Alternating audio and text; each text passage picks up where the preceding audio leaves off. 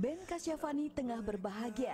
Kamis malam kemarin, dengan wajah sumringah, Ben didampingi istri tercintanya bisa kembali ke tanah air usai menjalankan ibadah umroh ke tanah suci bersama sang istri. Dan inilah ungkapan bahagia Ben Kasyafani usai melakoni perjalanan religi bersama istri untuk pertama kalinya pasca mereka menikah. Seru banget, seru banget. Ini kita pergi 10 hari, 11 hari lah nyampe Jakarta.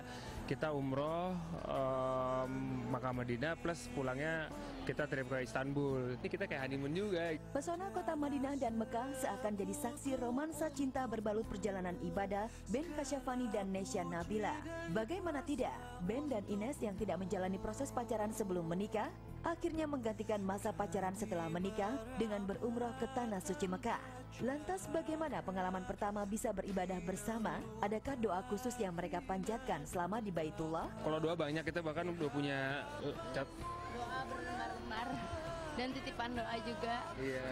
Ines sudah bawa sebelum berangkat dia udah bikin ketikan gitu per nama siapa aja yang didoain karena takutnya nanti kita mau doa kita lupa gitu kan catatan. Tapi mungkin satu yang paling kita ini sih eh, kita berharap udah punya adik buat Siena sih. Harapan Ines dan Ben Kasyafani bisa segera mendapatkan momongan sekaligus adik bagi Siena menjadi doa spesial mereka keduanya.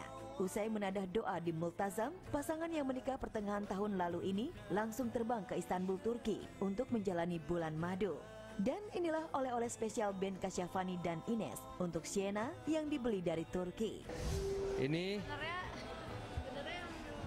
baju kita ya cuma dua itu doang bukan tiga belas ini oleh-oleh mau Iya, ada beberapa titipan. Satu, eh, ini baju-baju kan.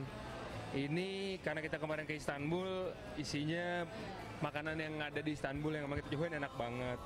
Terus ini beberapa baju-baju. Nah, oh ada. Baju abaya ini repot banget nyari abaya yang seragam kan, yang dari Istanbul ada coklat-coklat. Jadi kita udah prepare beli kantong-kantong ini masukin di sini pindah-pindahin nih kayak waduh ini berat banget sih. Terus ini sebenarnya ini tuh sebenarnya dua gini dua seperti ini. Tapi dua. Kita pepet jadi satu. Yang kita beli baju buat lebaran kali ya yang gamis-gamis gitu